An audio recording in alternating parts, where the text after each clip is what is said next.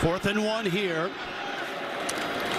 This is Buchanan, he's hit, and I don't think he has it.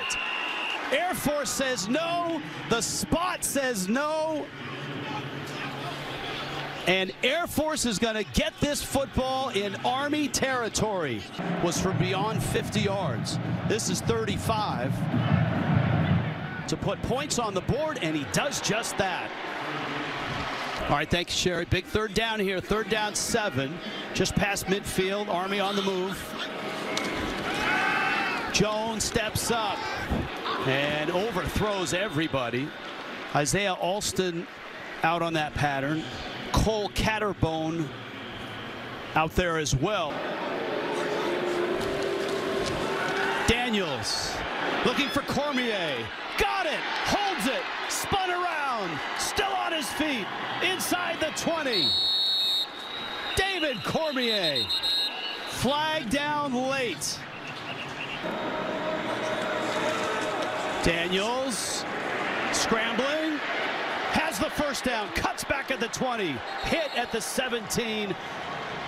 First down Air Force inside the red zone. Daniels, there's that counter again. And Daniels to the 10, to the end zone. Touchdown, Air Force. 17 yards. Larrier in motion. Quarterback draw. Daniels down to the 12. First down. They move the chains again.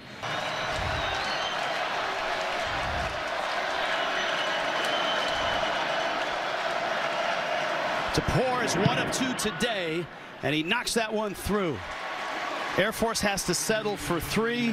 Army is still within a score. The end zone for the touchdown in overtime. Great point. Jones steps up, fires, middle, and it is incomplete. Marshall, Goodwin, Jalen Goodwin on the coverage. They get it off in time, fourth and two. Jones fires, sideline. It's intercepted! Camby Goff and Air Force. No flags.